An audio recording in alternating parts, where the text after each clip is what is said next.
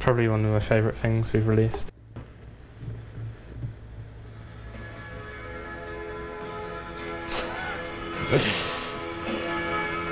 we picked the name Art is Hard. I thought it was sort of ironic, like art isn't really that hard, like anyone can do it. Original sort of punk ideas of anyone can start a band and release a record and we wanted to sort of like portray that side. Started the label out in about 2010. We obviously wanted to focus on the southwest and quickly sort of realised within like six months or so that there wasn't really enough bands in the southwest. Sort of did that for the first year or two and alongside our university studies sort of putting our student loans into pressing records instead of eating well. People probably see it as quite depressing, like eating a dinner of a pot noodle or a pork pie and then just working for like six hours when you get back from work, but I don't know, quite enjoyed it. The band from first we've actually released is these guys, who are like nine drummers, and they're from Bahrain. We've done quite a lot of different releases and we always try and make the packaging a bit interesting, so this was a cassette release that we did in like a cigarette style packet. The guy who we asked to make it was just like, I've never done anything like this before. I've got no idea how I'm going to do it, but I love the idea, so I'm just going to try and do it anyway. And for a couple of years, we did these pizza boxes. The idea was that every Friday we'd put out a different single, and yeah, they all sold out as well. I feel like I'm boasting all the selling out, but, but no, I think just people really appreciate like being able to own like different sorts of music on different formats and I have a full-time job um, which is working for a eco holiday company and any spare time I get is sort of thrown into the label. Sometimes in a week it'll be only like one or two hours that I actually get time to do anything. Slightly less than it used to be now. Now I live with my girlfriend. Previously when I used to live in a shared house it would all just be in my bedroom it's nice to uh, be in my own flat and yeah, be able to keep them all in the cupboard out of my girlfriend's way.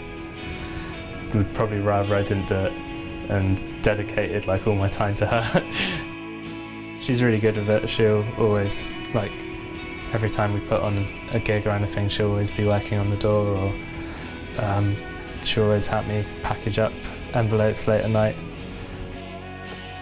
I mean, the obvious thing is it changes your relationship massively in the fact that that becomes your main focus sort of every day. There's never sort of a stop in that mind, that mindset or that focus because music is such a part of our lives and David's life.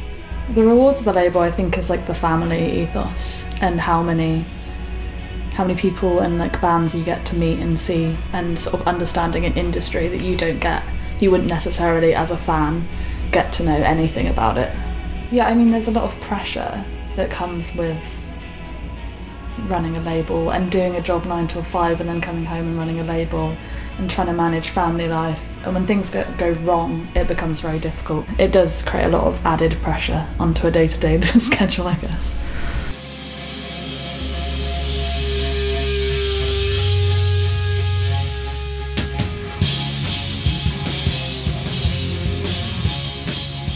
It's always, it's always fun to come back and see a band you've released and um, especially if they've moved on to like another label and see how like how they've progressed.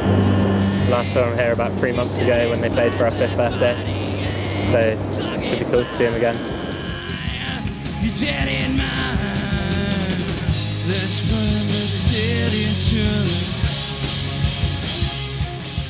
Everyone's friends, so it's nice to be able to like hang out, watch music together. We talk about giving it, giving it up all the time, but I don't know. I don't think I'd be able to last very long without sort of being drawn back to it, being sent some music I love, and just not being able to resist sort of sharing it with everyone. I used to have like quite lofty ambitions for like making it a full-time job, but the sort of longer you do it, the more you realise that like that's not really a viable thing. Yeah, it's not it's not driven by sort of business that's driven by passion, I guess. No, I'm just happy just to keep it going as like a hobby and hopefully in like five years time it'll still just be sort of ticking along.